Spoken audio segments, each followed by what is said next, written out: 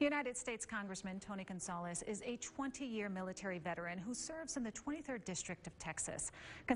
Gonzalez recently gave me an exclusive interview in which he talked about the crisis at the southern border caused by what he calls a broken system, one that he says could prove to be disastrous for the country.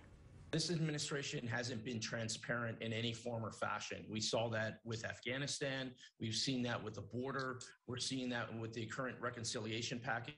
I mean, it's just nonstop. One of the provisions in that multi trillion dollar reconciliation package will grant amnesty to up to 10 million illegal migrants.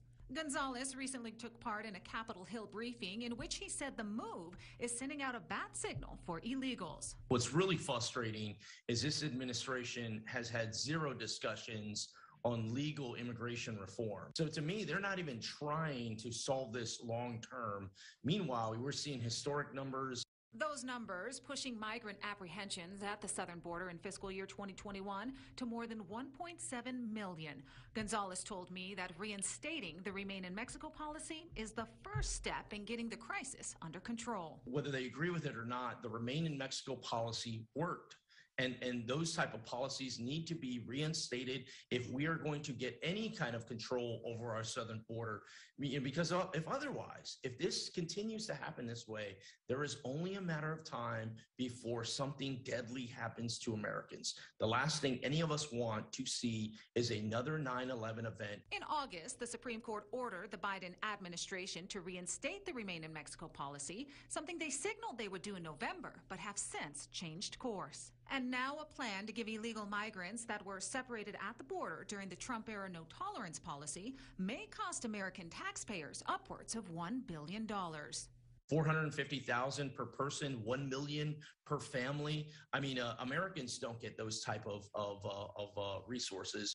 These policies are deadly. You know how many people have died this year due to uh, Biden's failed policies?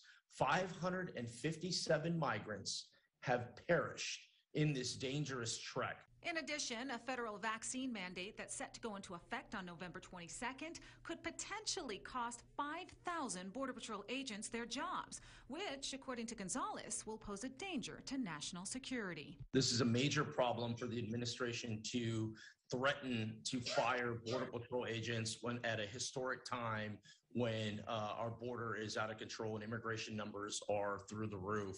If we lose these agents, you can't simply turn the spigot back on.